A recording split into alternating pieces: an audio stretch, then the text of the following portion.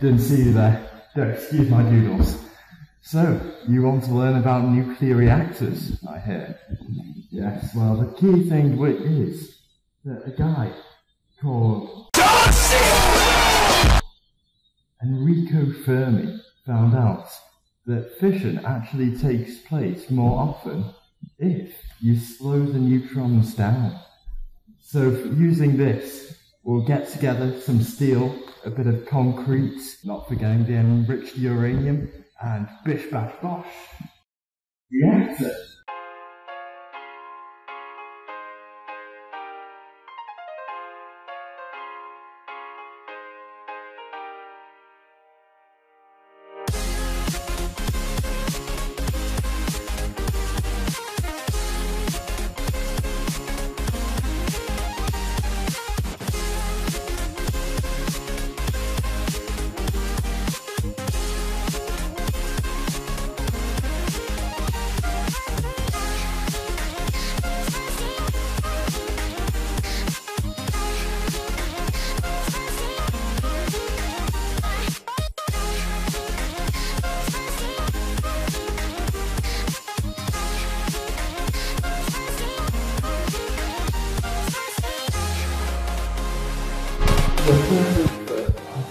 Delve into more in fuel pits.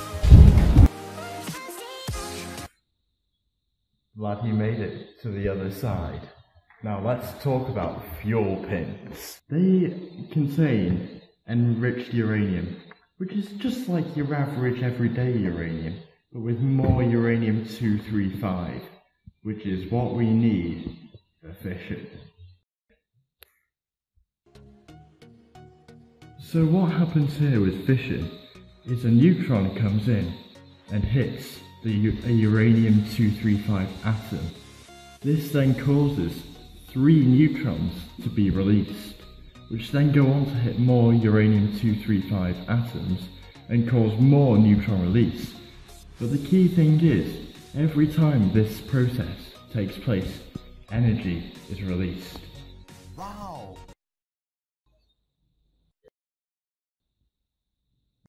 How did I end up down there? Let's talk about control rods. The control rods are used so that the reaction doesn't get out of hand.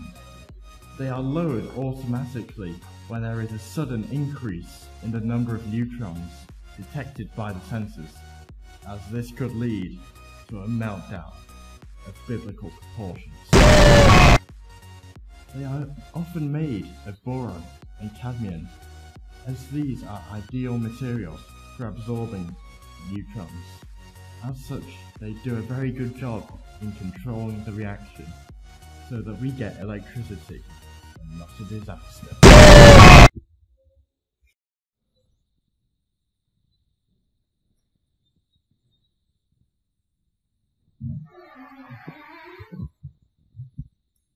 Talk about this moderator.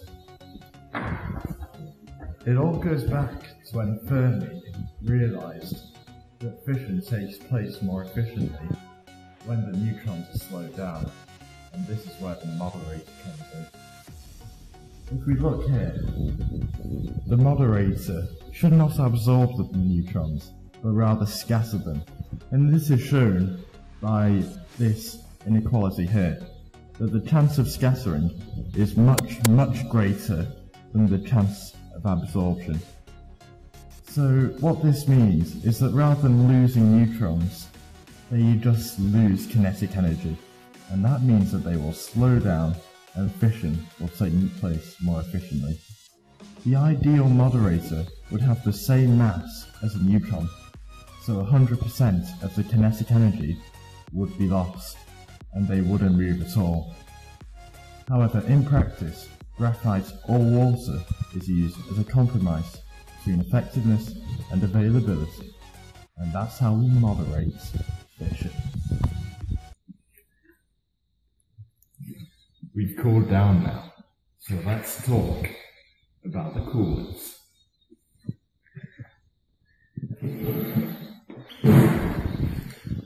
The key thing about the coolant is it must flow easily, much like the water dripping off my face.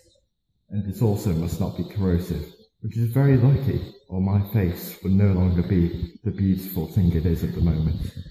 It must be in a sealed circuit and pumped from the core of, reac- of the reactor to the heat exchanger. This is because the coolant, when it passes through the core, is heated up by the nuclear fission that does take place. This the, coolant then gets very hot and transfers the energy to the metal pipes that heats up the fluid inside that turns the turbines and creates the electricity. Another thing about the coolant atoms are that they do become radioactive when they pass through the core and this is one of the reasons we must seal the circuits so no radiation escapes and we can, can all remain cool under the collar.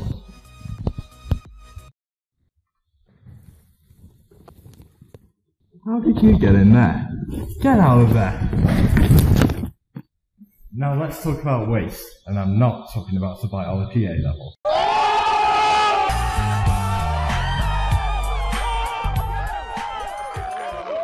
It's nuclear waste. The waste is due to spent fuel in the fuel cans. It is highly radioactive for a long time, as it's just been bombarded by neutrons for so long.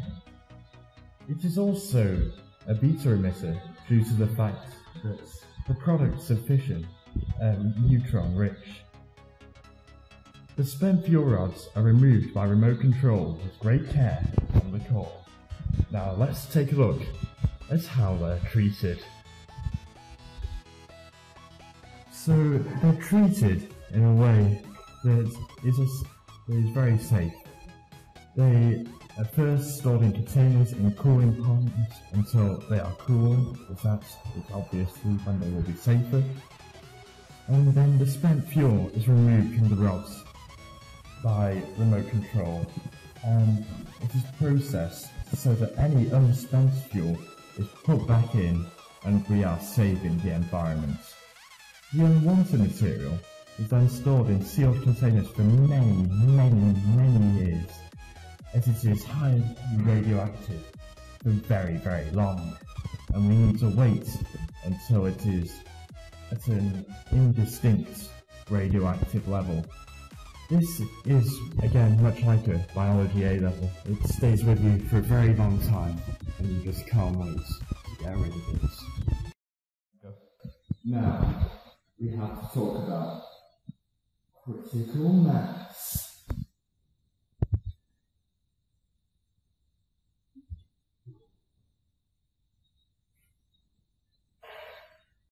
Critical mass. critical mass. Critical mass.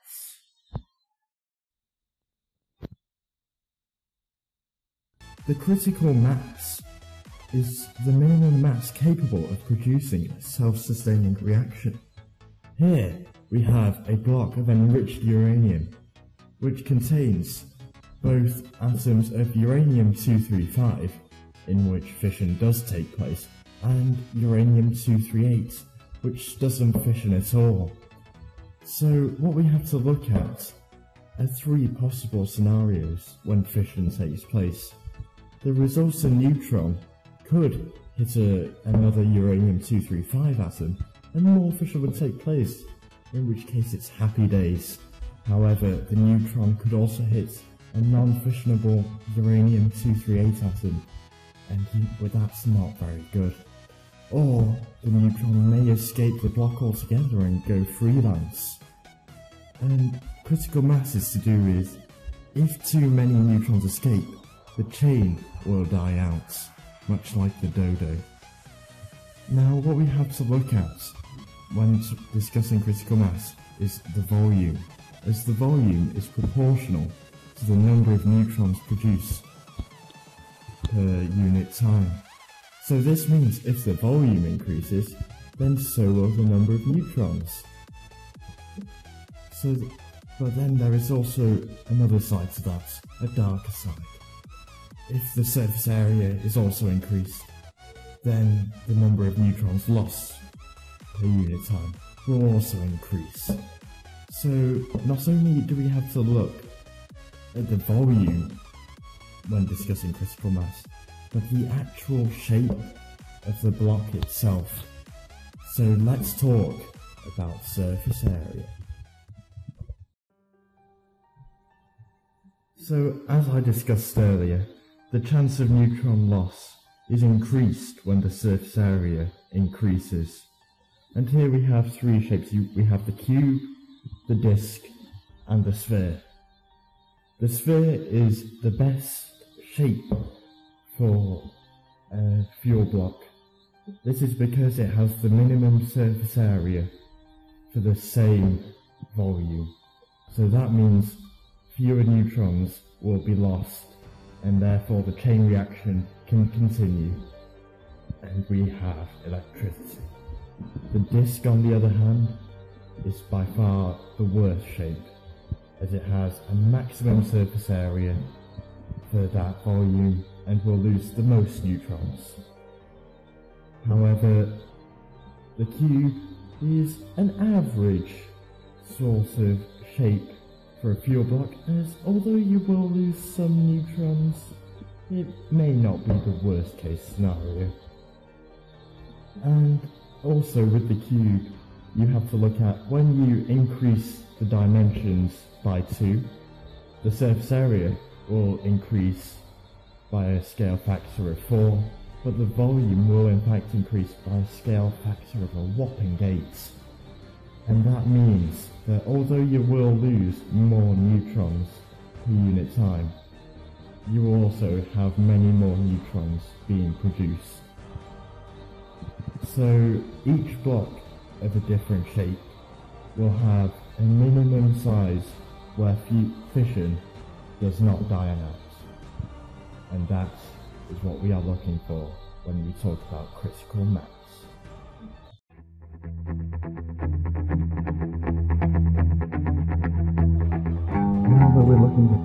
Reactor, we shall first take a look at the thermal reactor, which is the oldest and the most common of nuclear reactors, and they have been the focus of our presentation thus far. They use enriched uranium and they need a moderator due to the neutrons being needed to slow down in order for the chance of fission to be increased. However, and they do differ within this category due to slight changes in the type of fuel, the power output, and the types of moderators, such as using water or graphite. However, I am going to let you in on a little secret. Not the, the only type of reactor. Now, this other type of reactor is a bit like me.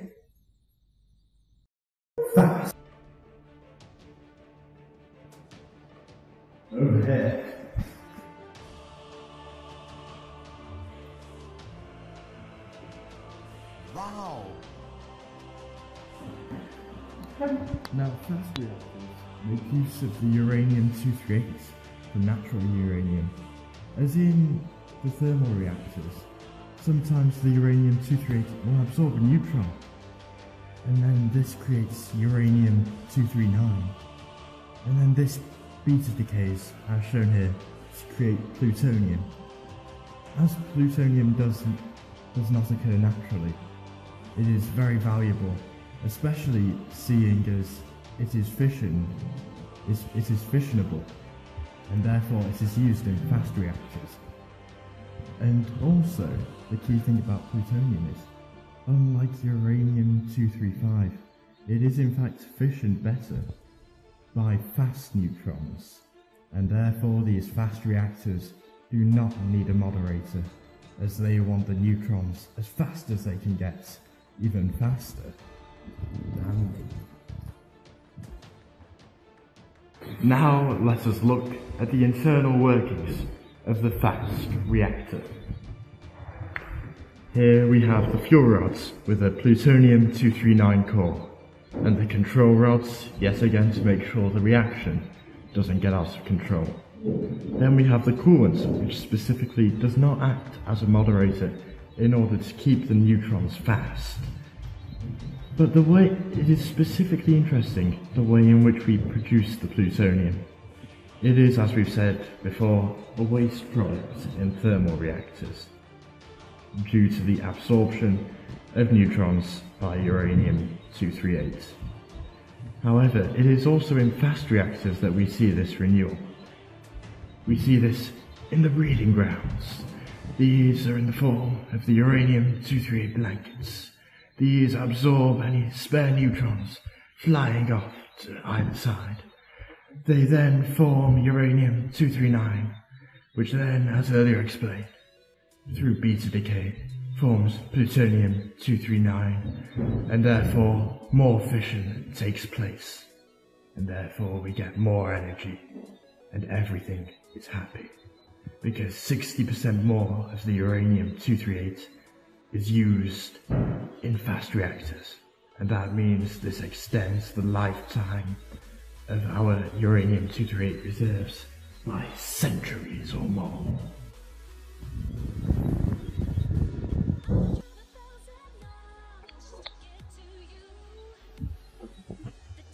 Now I'm afraid our journey is drawing to a close.